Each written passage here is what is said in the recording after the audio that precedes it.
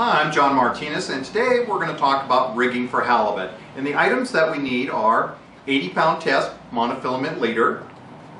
We need Miracle thread which is stretchy string.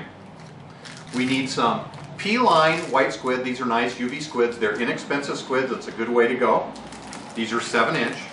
Uh, 1 or 2 pound weights. And we're going to need a size 6 corky. And a spreader bar.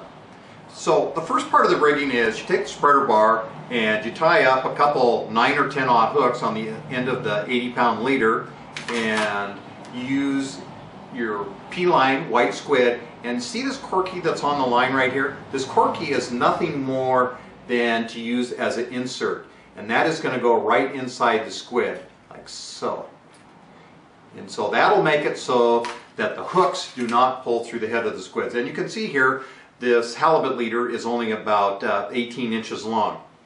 So the next part of the setup is using a herring. This is one of the best tricks that I'm ever going to show a halibut fisherman. And what we're going to do is we're going to pull the squid up and we're going to take the herring and the hook and we're going to take the hook and put it through the bottom of the herring's jaw and out through the top of his head. And we're going to take the other hook and we're going to lay it right alongside the herring like so. And then we're going to take our magic thread, we're going to start wrapping the herring right down here by the tail, and we're going to wrap around the first hook. It doesn't matter what it looks like, you continue to wrap, you wrap all the way to the head of the herring, and then wrap back, and tie that off a couple times with a couple half hitches.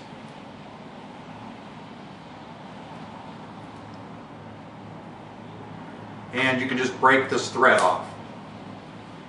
Now your herring is secure on there. That herring will stay on there all day. Adjust the hook so it sticks out a little bit. Now you can take your squid and put that right over the top of the herring.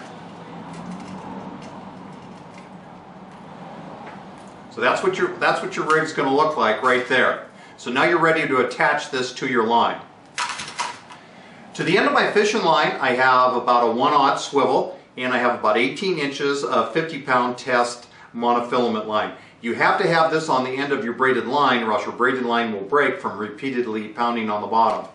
This is a 100 pound test swivel and I'm going to snap this to the end of the spreader bar.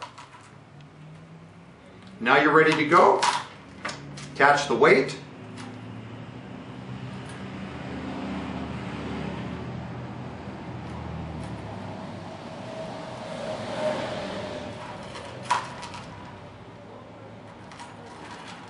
And our spreader bar halibut setup is ready to go. Now you can just let this to the bottom and you're ready to catch a halibut.